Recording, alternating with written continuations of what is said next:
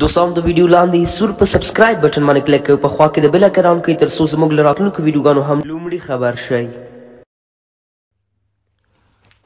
بسم الله الرحمن الرحیم السلام علیکم دوستانو په دې هیله چې روغ جوړ باسته یې سهیل عزیز یم یو ځل بیا یوې نوې ویډیو ته ښه راغلی په دغه ویډیو کې موږ د الاذکار د اپلیکیشن په باره کې تاسو ته معلومات درکوم چې باید دغه اپلیکیشن تاسو حتما په خپل موبایل کې ډاونلوډ کړئ که چیرې تاسو آیفون کاروئ نو اپ سټور ته لاړ شئ او الاسکار ولیکئ په پښتو یې لیکئ او یا هم په انګلیش نو تاسو دغه اپلیکیشن راځي دا ډاونلوډ کړئ در سره که چیرې تاسو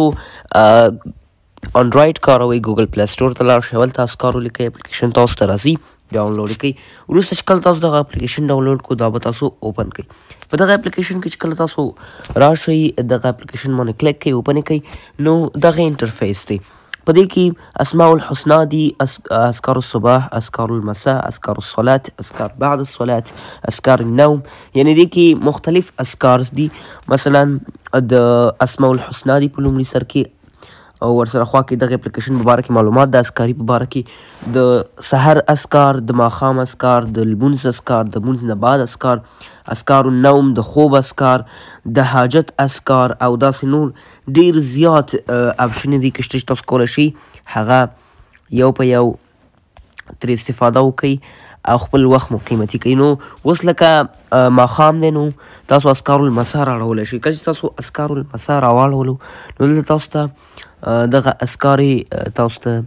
ګورئ چې اعوذ بالله من الشیطان الرجیم لیکل شوی کنه بعد آیت کرسی باندې شروع شوی یو په یو تاسو کولی شئ مخته ولاړ شئ او د ماښام چې څومره اسکار دي هغه ټول تاسو کولی شئ له دې څخه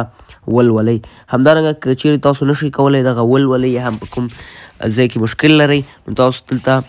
په پلی باندې کلیک کړئ ښه اپلیکیشن دی تاسو کولی شئ په خپل موبایل کې د سهار اسکار د ماښام اسکار ووایس کولی شئ تاسو د مونځ نه بعد چې کوم اسکار دي هغه د خپل موبایل په واسطه باندې ووایئ نو د هغه چا دپاره چې اسکار یې نه یادیږي نو ډېر زیات ښه اپلیکیشن دی همداسې ډاونلوډ کړئ ورسره خوا کې زموږ چینل سبسکرایب کړئ همدارنګه په انسټاګرام کې مو که زه نه یم فالو کړی دا زما د انسټاګرام اکاونټ دی سهیل عزیز ډاټ ففټین ورسره خوا کې فیسبوک کې ما هم در سره فالو کړئ this is my facebook account دا مې د facebook account دی سهیل عزیز نو تاسو کولی شئ چې په facebook کې زموږ